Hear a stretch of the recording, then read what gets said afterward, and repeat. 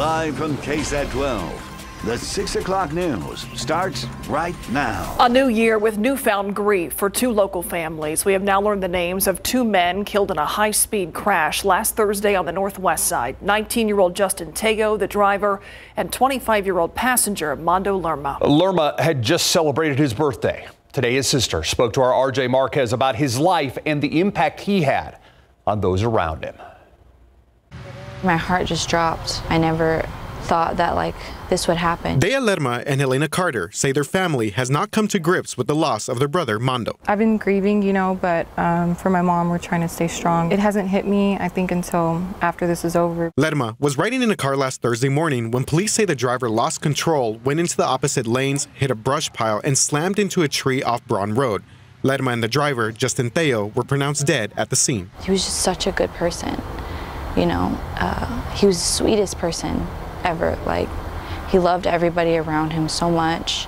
He could light up a room in two seconds. His family says Lerma was quiet, shy, and very smart. He had just celebrated his birthday on December 17th, and they were together on Christmas. It's like a blessing because we didn't know that would be our last. But looking back, it's like, thank God we got those last few moments with him. Helena and Dea have been overwhelmed by the support and messages they have received for their brother since news spread of his death. He would just want people to know what kind of person he truly was and just would want us to share his life. And, you know, Mondo lived every day to the fullest. It gives our family comfort knowing that how loved he was. And um, so we want to thank everyone for that. And since the crash happened, Mondo's family and friends have created this roadside memorial behind me at the site of the crash to honor their brother and son. They tell us that his services will be held later this week in Seguin. Reporting from the Northwest Side, RJ Marquez, KSAT 12 News. Four months after Michelle Barrientos Vela was convicted of tampering with records, her defense team set out today to convince a judge that she's a good person who does not deserve to spend a decade in prison. Dylan Collier joins us live outside the Bexar County Justice Center now. Dylan, how's that task been going so far? Well, Steve, they're more than halfway home. We'll have to see how the judge decides to go tomorrow. Barrientos Vela's former boss, her co-workers, and even her sister-in-law all described her as caring today, only to then have the prosecution come in and get those same witnesses to concede that some of her actions, like falsifying government records, weren't so good. The defense in this case moved through these character witnesses at a rapid pace, which was a nice change from what we've seen in this trial last summer and into the fall. The defense could rest as soon as tomorrow morning. Each time a witness today would paint Barrientos Vela as a solid employee or loving mother, the prosecution would remind them of what took place while she was in public office. Uh, you said she was generous, so she would she would pay for everybody. Yes. Did she pay for you? Yes. Was it in cash? I don't. I don't remember how she paid. Was it in card? I don't remember. Barrientos Vela faces between two years probation and 10 years in prison because she's indicated that she will appeal her felony convictions. She will be allowed to remain free even if she's given a harsh sentence. Judge Velia Meza is expected to issue that sentence, whether it's probation or prison, tomorrow after the defense's last character witness and closing arguments from both sides. Reporting live downtown, Dylan Collier, KSAT 12 News. We'll see what tomorrow brings. Thank you, Dylan. Medina Lake is not the only thing drying up. Right now, the reservoir is just over 6% full, and people living there say they've seen wells having issues too. Our Garrett Berger talked with one man who's now trying to help out. This is not David Cahill's normal job, but it's one that needs doing. A home remodeler by trade, Cahill has found himself also delivering water to people whose wells are running dry, like those at his three properties did this spring. What he charges covers his costs, a slim profit to help pay the debt on his own deeper well he had to have dug for a little over 28 grand. But there's more to it than money. I don't like people hurting, so I want to help them if I can. I'd, if I didn't have, if I had all the money I needed, I'd be delivering water to people for free. Cahill says that the thousand gallons can last his customers anywhere from about a week to about a month, depending on how much they use and the size of their family. Though he says most of his customers get deliveries about weekly. He's not the only one who has seen issues. The building owner of my business, sometimes they come up and get water from the restaurant for their property, and they actually have waterfront property. This is happening as parts of the nearby reservoir look more like a sandbox. When the lake goes down, wells start drying up. There's that's definite, and I know from my three wells. But does the correlation mean causation? A U.S. Geological Survey official told us there isn't data to show if the surface water levels at Medina Lake affect the nearby groundwater levels. So right now, they simply can't say one way or the other. In either case, the delivered water is very much needed. They must have flushed the toilet. At Medina Lake, I'm Garrett Berger, KSAT 12 News. San Antonio fire investigators sifting through the ashes for clues as to what sparked a house fire today. Those flames sending two people and their pets running from their home this morning. As Katrina Weber tells us, the fire also left a firefighter in need of some medical attention. Thick smoke continues to pour out of the second floor of a home in the 100 block of Tipperary Avenue long after a man and woman got out of it safely on their own. Firefighters who were called there by a neighbor just before 9 this morning rushed in at first, trying to make headway on the fire.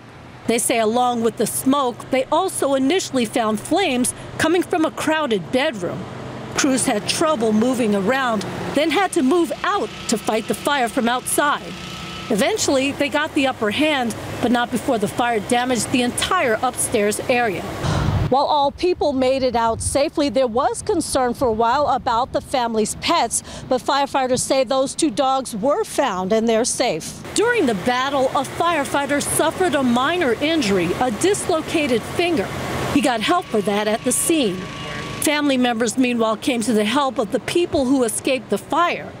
Firefighters say most of the damage from it was contained to the second floor, but what they didn't know right away is how it started. Katrina Weber, KSAT 12 News. A lot of people all across the country waiting on any update about Bills player Damar Hamlin after he collapsed on the field last night because of sudden cardiac arrest. At last check, he is still in critical condition. Courtney Friedman spoke to a doctor about similar cases and a local mother whose foundation offers free heart screenings in honor of her own son. After 24 year old Damar Hamlin took a hit to the chest last night during the Bills Bengals game, he collapsed. We now know due to sudden cardiac arrest. I didn't leave the TV. I couldn't leave until they stopped airing. That's because Doree Foodie lost her 18 year old son August to sudden cardiac arrest in 2008. August had hypertrophic cardiomyopathy, which is probably the rarest one. That's just one of many heart defects that can cause cardiac arrest without notice. They don't feel bad, and suddenly one day their heart starts beating erratically. Dr. Alan Anderson is the head of cardiology at both University Hospital and UT Health San Antonio. He says there is another possible cause for a patient like Hamlin who was hit in the chest before his cardiac arrest. Called commotio cordis, and it is uh, a heart rhythm disturbance that arises from a sudden impact to the heart, usually by a flying projectile, typically a baseball or a hockey puck or a lacrosse ball. Dr. Anderson says the two most critical things when someone is in cardiac arrest is immediate CPR and then the use of a defibrillator, just like this one. But he also says prevention is key, and that means heart screenings. We screen for five different abnormalities that cause sudden death with no symptoms. After her son's death, Foodie created the August Heart Foundation, providing free screenings to any teenager in the area. This past year, I think we've tested uh, 7,800 and had 57 referrals just this year in, in 2022 alone. Leaving August a life saving legacy. Courtney Friedman, KSAT 12 News. Now, if you would like to set up a free screening for your child, your sports team, or your school, head to augustheart.org or you can call 210 267 2771. Check out traffic on this Tuesday. Let's go to I-10 at the Y near downtown, the fine silver building there, and you can see traffic moving along very smoothly as a lot of people head back to start their work week today. Well, considered a legend among cavers, Orion Knox Jr. discovered and explored caves around the world, yet he first gained fame for the cave he helped find that became the Natural Bridge Caverns, attracting millions of visitors since 1964. Orion Knox Jr. passed away over the weekend at the age of 81. Jesse Degollado has this remembrance. Stay with the group behind need, folks. We'll be continuing onward. If y'all will follow me, please. Every 10 minutes, there's another tour coming to see the underground wonders of Natural Bridge Caverns. They were undiscovered for millions of years until Orion Knox Jr. was the first of four St. Mary's students in 1960 to squeeze through a narrow opening to enter the cave. It has to be scary when you're going in a place you don't know what's going to happen. But that's exactly why it said he did it. He just had that passion for exploration and discovery. Brad Wuest' family owned the ranch where Knox helped them develop Natural Bridge Caverns, now the largest show cave in Texas. Installing the pathways and handrails and lighting. While also continuing to explore and map a cave so large, where it ends, they say, is still unknown. Having learned of his passing, a visitor from Nepal paid tribute to Knox. I feel like his existence itself was like a miracle because, like, you know, he discovered this. He was a, a truly a uh, remarkable man. Knox's legacy, says Wuest. Never stop exploring in life, never stop making new discoveries. They say it's only fitting that Orion Knox Jr. chose Natural Bridge Caverns as his final resting place. He considered this one of his, his life's greatest accomplishments. Jesse De Degollado, KSAT 12 News. Gosh, we're all thankful for that discovery. I was going to say it's hard to argue I about know. that kind of a legacy. Beautiful. And it makes me wonder what else is out there we have yet to Right? find. Well, just in that cave, Uh-huh. they don't know how long it is. So, yeah. Unbelievable. Beautiful sunset out there this evening, and uh, we've got a few photos on KSAT Connect, and just waiting for them to really keep filtering in. You can go to our Weather Authority app, and then a little camera icon on the bottom. You can share your photo of the beautiful sunset, and I'll have some of those for you coming up at uh, next half hour once we get more of them. 61 this morning, 79 the high temperature, right near 80 degrees. Get up to Amarillo, 42, Lubbock at 52 and then 70s locally with in some 60s in the hill country. Uvalde now at 70, 69 New Braunfels, 64 in Cotulla, and temperatures will continue to drop pretty quickly here as the sky clears out, mostly clear, low humidity. And not much of a breeze out there right now. 60 degrees by 10 o'clock midnight. We're at 55. And have a sweatshirt or long sleeves ready for tomorrow morning. We'll be in the 40s to start the day. We'll talk about the temperature trend, how warm it gets this week, and our next cool front, which brings us a shot at rain this weekend. We'll talk more about that in just a bit.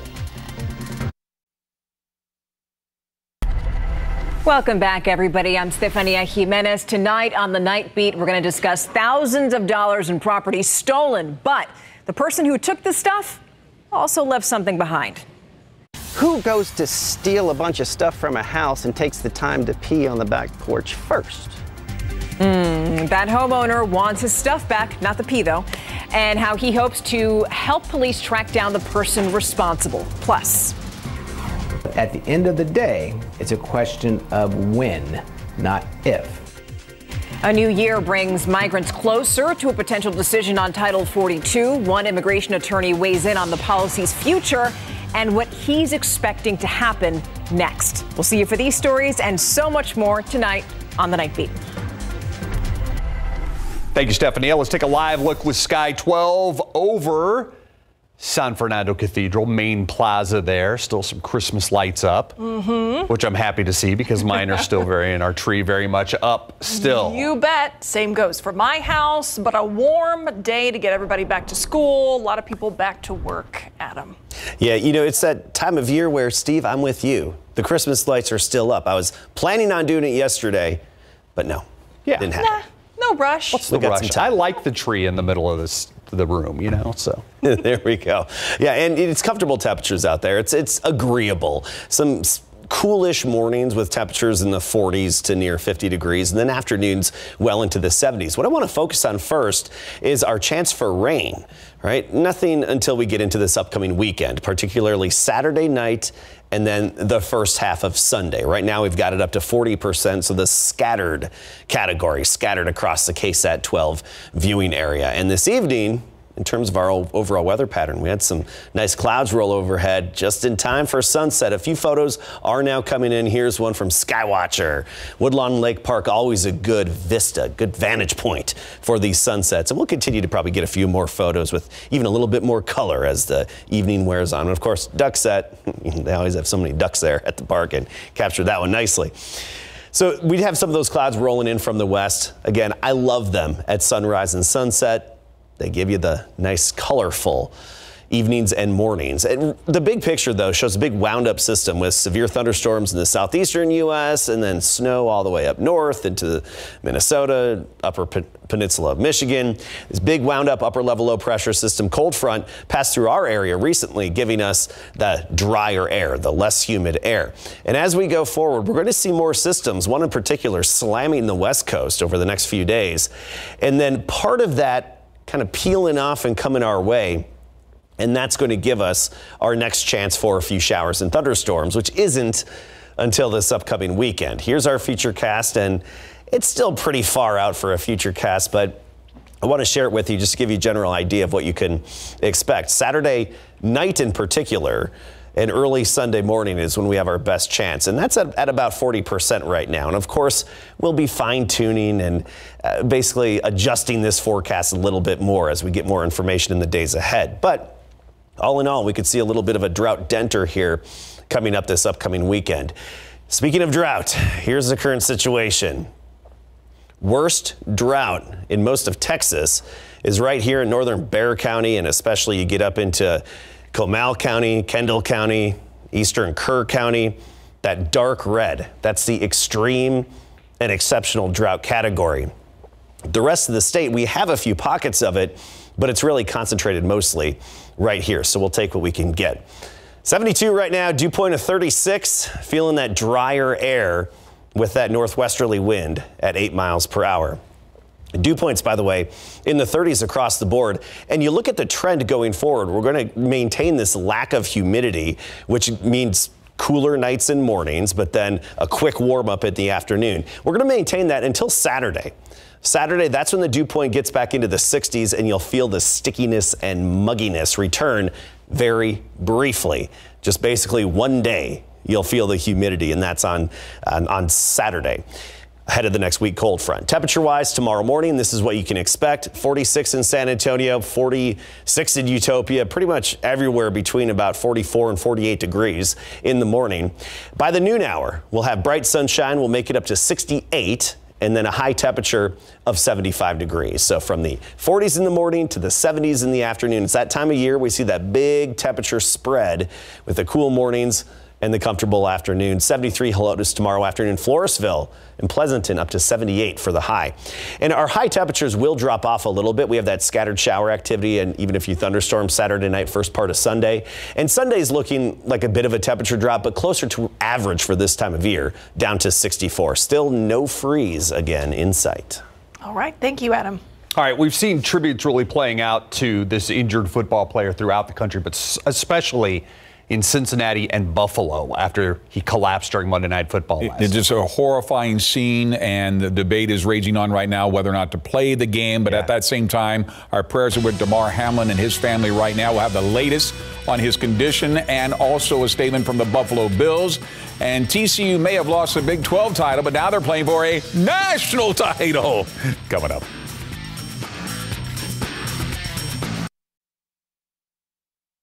Pro football coverage, powered by Davis Law Firm. Buffalo Bills safety Damar Hamlin suffered a cardiac arrest after he was hit in the chest while tackling the Bengals' Tee Higgins during the first quarter of Monday night's football game between Buffalo and Cincinnati. After making the tackle, Hamlin stood for just a moment before he collapsed on the field. A team of medical personnel from the team and paramedics on hand were able to restore his heartbeat on the field before he was transported by ambulance to a nearby trauma one hospital where he was sedated and listed in critical condition. The game was at first suspended with stunned players and coaching staffs retreating to their respective locker rooms before the decision was made to postpone the game. There was talk of resuming the game after a five minute warm up period, but clearly the gravity of the life threatening situation would not allow that to happen.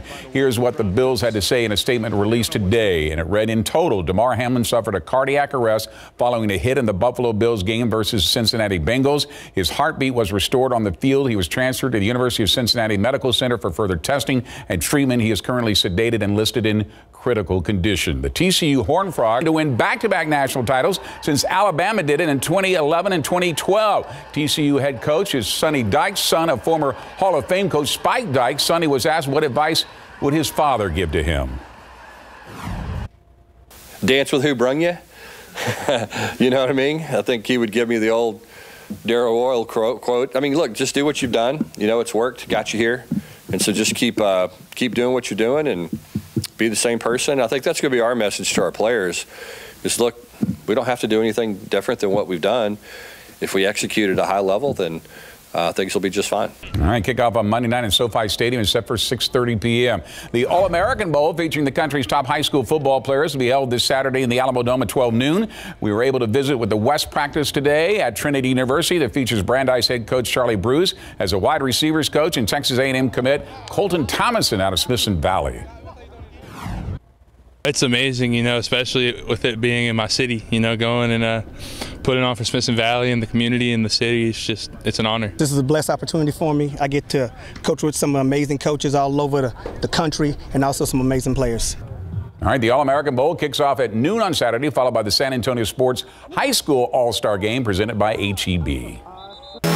Our San Antonio Spurs remain in New York City after their loss to the Nets in Brooklyn last night. That's after a disastrous first half in which the Spurs were outscored 74 to 47. Kyrie Irving was able to score on his first seven shots and then brought the Nets bench to their feet with this follow slam, and it was downhill from there for Brooklyn. Irving would finish with 27 on the night. Right behind him, Kevin Durant with 25, extending their league leading win streak to 12. The Spurs are led by Keldon Johnson with 22, one of only two starters in double figures. They included Devin Vassell, who had 14 in his first game back after missing the last two with knee soreness and the 139 to 103 blowout loss. Next game, they'll just kind of cool their heels in the Big Apple because they take on the Knicks tomorrow night, 6:30 in Madison Square Garden. So they get four days in New York City. Hopefully, they get at least one win out of this trip. Yeah, yeah, that'd be nice. Yeah, mm-hmm. because last night was not not, not good at all. Yeah. No. Thanks, Greg. Our KSAT Q&A is up next. It was thought this would be a pretty routine day in the House of Representatives. A Speaker of the House would be elected. The, swearing, the swearing-in ceremony would happen with the new members of Congress. It has been anything but, though. Three votes that did not go House former Minority Leader no selection. Kevin McCarthy's way. So we're joined by Joaquin Castro live from Washington, D.C. Of course, he represents the 20th Congressional District here in San Antonio. Uh, Representative, thank you for joining us. How would you describe what happened today?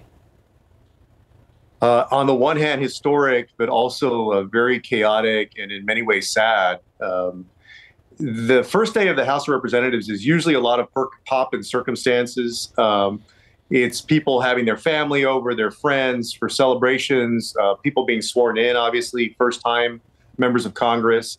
And so this situation has not happened in 100 years where a speaker has not been elected on the first day. Uh, and we've been through three votes now where Kevin McCarthy has failed uh, to get a majority to become speaker. And I'm not quite sure at this point who Republicans, if they're going to abandon him as their candidate, the majority, you know, the lion's share of them, or they're going to go to somebody else at this point. Truly, this has not happened in 100 years, since 1923. That's the last time right. that the election of a House Speaker went to multiple ballots. So, talk about what can happen from here. The House adjourned today, will be convening again tomorrow. But what are the next steps for the newly sworn in Congress while we wait for the selection? Or are there any steps that can be taken? Well, the interesting thing is that this is the first item of business that the House of Representatives has to undertake. And so we can't do anything else. We can't uh, vote on any bills. We can't make committee assignments, uh, anything until a speaker is elected to preside over the House of Representatives. So it, it leaves the body, the legislative body, in a kind of limbo.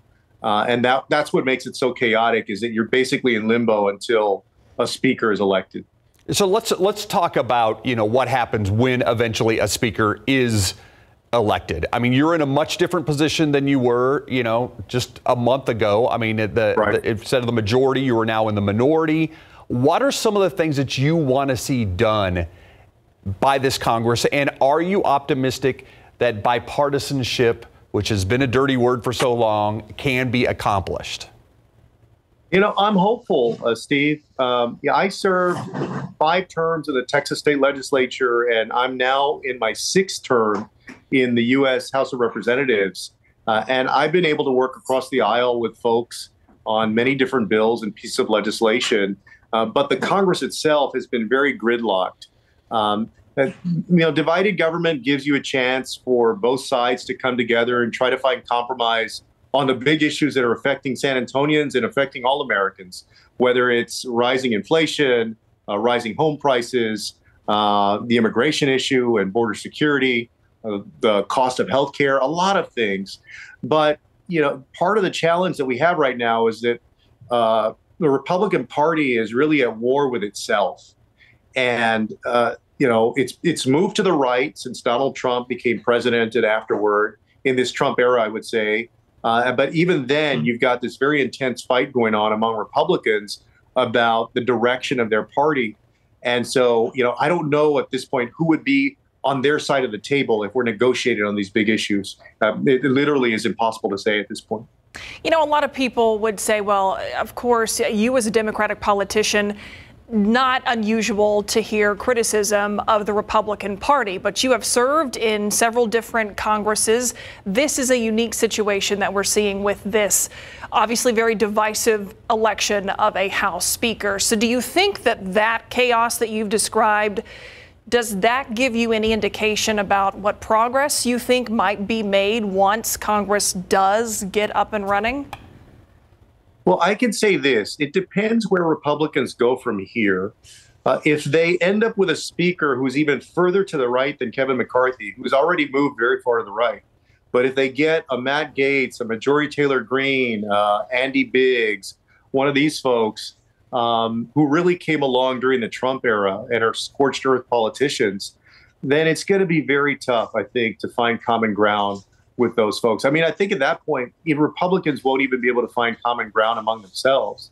Um, so it, it, really just depends where they go, you know. And I spent 10 years in the Texas legislature where you had this this long-held spirit of bipartisanship, and there were even members of the minority party, whether it was Republicans or Democrats at the time, who were able to be chairs of committees.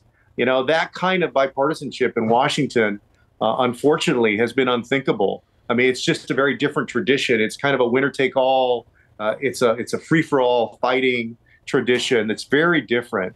Um, it, than what I experienced in Texas. Uh, I want to talk immigration, border security. You know, we can even talk Title 42 if you want. But I mean, sure. it is a very part of the reason that uh, this that Kevin McCarthy is having trouble being elected House Speaker is because they have such a slim majority. Uh, you know, he basically needs all but six Republicans to vote with him, is my understanding.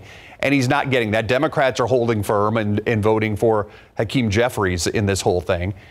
Does that help give Democrats maybe a little more power than they normally would have to deal with things like border security? Are there Republicans that will work with Democrats on something like border security, immigration, things like that? Uh, yeah, I mean, look, we passed as Democrats um, within the last month. We passed about two billion dollars. My son's peeking into the shot here. Uh, we passed about two billion dollars in funds uh, to help process folks as Title 42 was coming to the end, and to buffer border security. You know, and so we have tried to take action uh, as cities like Del Rio and McAllen and El Paso and San Antonio have asked the federal government for help in in dealing with the folks who are seeking asylum. Um, and so we're going to continue trying to work in a productive way uh, among ourselves, but also hopefully with the Republican Party in the House and in the Senate. You know, while while the selection of a House Speaker is very much in limbo, so is the future of Title 42. That's something we keep talking about. So when, if and when that does come to an end, are there any resources or that aid you mentioned, things that you want to see some of these border towns, border cities get in order to help them with what's expected to be an incredible influx of people coming across the border? Yeah. Um, first, I want to make sure that all of our border towns are well taken care of in terms of having the resources they need to get people on their way. So it's not just a city government like San Antonio. As you all know, San Antonio set up a migrant resource center um, that really has become a model for other cities that are dealing with this situation. Uh, but also for a lot of the support organizations like Catholic Charities, for example, that has helped uh, countless uh, migrants who are seeking asylum in the United States, get them on their way to oh, most of a lot of them are meeting up with family members in other cities, whether it's on the West Coast or the East Coast. So even as they're moving through Del Rio or San Antonio, the lion's share of them are not staying there. They're moving somewhere else. But there's a process in getting them to where they're going. So I absolutely believe that we got to do everything we can to help our Texas cities get the funds they need to do that. All right, Congressman, before I let you go, if your son's still there, give him some camera time right now. Let him come on camera. And I want to ask you what you expect to happen tomorrow. Well, my son, my wife, like, got him back into the bedroom over there. Oh, okay, all right, all right. Uh, but but look, I mean, for the sake of the country, I hope that uh, that the Congress, that the House will elect a speaker, and that we can start governing um, and working on legislation for the good of the American people and for the good of San Antonio. All right, we'll see what happens tomorrow. Congressman Joaquin Castro, thank you so much for sharing some time with us. Give our best to your family that came up to watch you get sworn in again. I'm sure that they were like, "What's going to happen now, Dad?" yeah. I will. Take right. care, y'all. Take, Take care. care. Happy New Year. We'll be right back.